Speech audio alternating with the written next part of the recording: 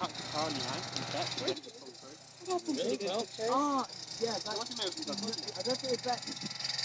Yes, Torin, it was American Gods.